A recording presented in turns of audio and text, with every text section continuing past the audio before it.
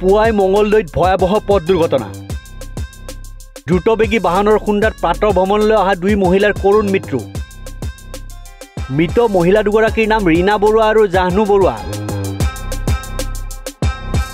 মঙলদৈৰ পোন্ধৰ নং ৰাষ্ট্ৰীয় ঘাইপথত ভয়ংকৰ পথ দুৰ্ঘটনা সংঘটিত হৈছে। প্ৰাতঃ ভ্ৰমণলৈ অহা দুই মহিলাক মহতিয়াই নিলে অজ্ঞাত বাহনে।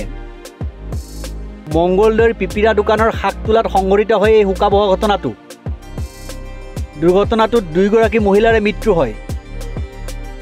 মৃত্যু হোৱা মহিলা দুগৰাকীয়ে প্ৰাতঃ ভ্ৰমণ কৰি চিপাজাৰৰ দিশলৈ গৈ থকাৰ সময়তে সংঘটিত হয় এই দুৰ্ঘটনা।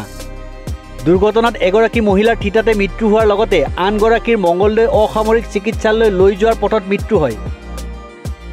মৃত্যু হোৱা মহিলা দুগৰাকী মংগলদৈ থানাৰ অন্তৰ্গত পাতাল সিং পাৰা গাঁৱৰ ৰীণা বৰুৱা আৰু জাহ্নু বৰুৱা বুলি চিনাক্ত কৰা হৈছে।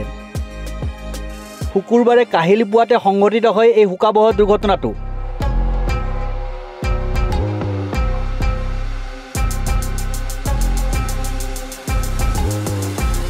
Newsdex report, News 13.